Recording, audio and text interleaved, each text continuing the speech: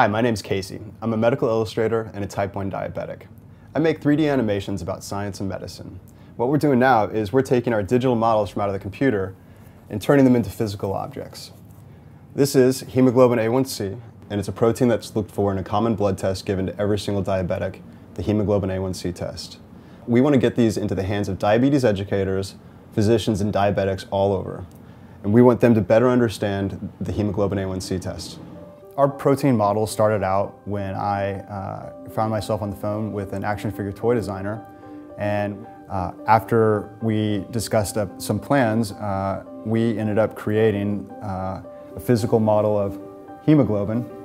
I was in my, my own endocrinologist's office one day so when Casey came to the office for his routine physical exam and blood work, at the end of the visit, he was talking about this 3D model. And I just basically said to him, listen, if we just added some sugar particles, which is glucose, to this model, we could better explain the hemoglobin A1C test. Every three months, uh, we measure how much sugar is sticking onto the hemoglobin particles. So you can, this, for example, this little blue piece, these blue pieces represent sugar. The more of these you have, the worse your blood sugar control is. The less you have, of course, the better the control. It was just a light bulb that went off my mind because I saw hemoglobin in my mind and I saw glucose attaching to it. And you know, it, now it wasn't a number, it was a physiological process that was happening. And if it's happening to hemoglobin, you know, what's happening to the other proteins in my body? In the meantime, in the body, the blood sugar is you know, affecting all these cells to a certain degree and slowly over time is causing the damage. So over time, the kidneys will start to deteriorate, but it can take some time before you see that.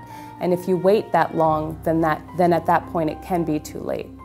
Our hemoglobin model, which is unglycated, which has no glucose attached to it, can be used as a comparison of against hemoglobin A1C, which is fully glycated, which has glucose attached everywhere. And this can be used as the disease state representation of prolonged elevated blood sugar so that people can understand healthy and, and, diseased. We, we did a small study with the fifth grade science class where we tested our physical models. When the children got the chance to handle it and look at it, it was often hands on top of hands.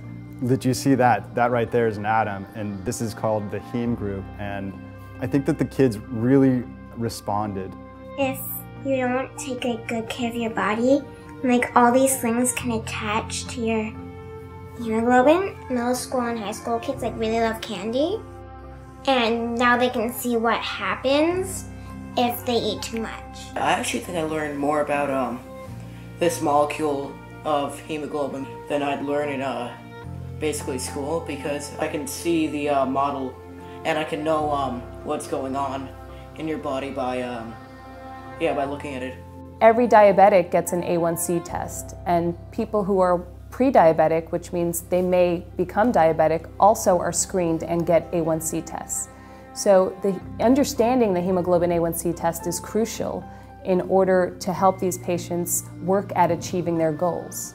Um, the hemoglobin A1C model is a great visual to help these patients get a better understanding of what it means to achieve an A1C goal. We investigated a number of different manufacturing solutions and concluded that it makes most sense to produce our models locally here on the East Coast. You can select a model for yourself or have one sent to a diabetes educator or physician as a gift. When I became diabetic, I didn't know anyone in my family with diabetes and I didn't know anything about it. Now I know something very specific.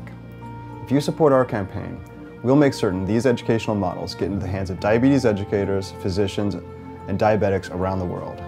I want to make certain everyone understands the hemoglobin A1C test the way I do.